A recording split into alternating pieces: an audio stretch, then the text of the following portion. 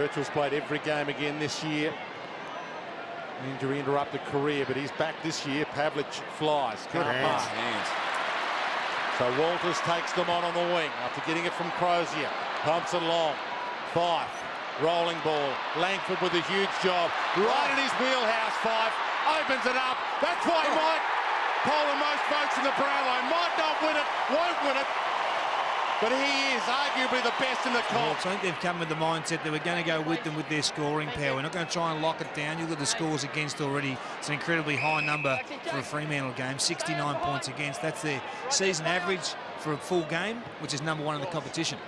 Well, I think you pointed out early, though, when Hawthorn decided to go man on man and not allow them to have Michael Johnson free, it always looked like it could have been a shootout. Great grab hands. Walters to Fyfe again. Same spot. Same class. Great footy.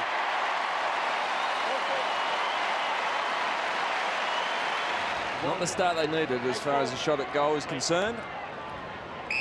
Hold there, Paul, thank you. Well, from the kick out, they've gone back to that zone defence, the cluster defence. But they find an easy kick out to Mundy and now a one-on-one. Taberner, good contest, kept it in front. Hands up to Sutcliffe.